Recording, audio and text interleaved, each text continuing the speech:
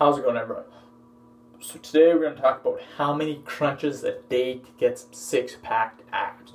So subscriber asked me this question today. He wants to know how many crunches a day to get abs. I think a lot of people too, they like to think, how many crunches a day do I finally need to get abs? You hear people all the time, you know, I do 100 crunches a day, do 500 crunches a day, do 300 crunches a day.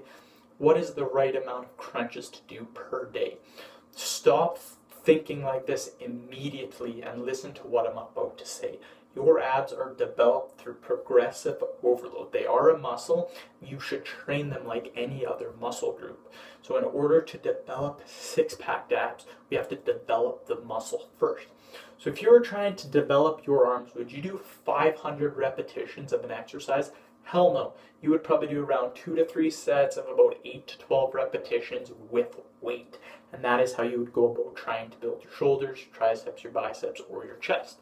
So we should use that same info and target our abs as well. That's what we're to do. Never do normal ab crunches. Always do them weighted.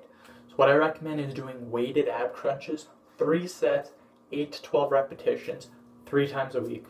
You can do another exercise, um, any other one you want. Uh, I recommend hanging knee raises, three sets, 8 to 12 repetitions, three times a week with the other ab exercise I just told you guys. That is what will develop your ab muscles. Add weight each and every session. So two and a half pounds, maybe five pounds.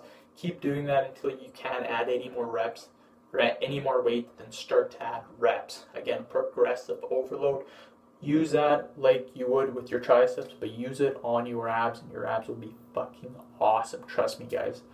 So, end the video. If you guys did enjoy it, tap the subscribe button below if you haven't already, and like the vid. Peace.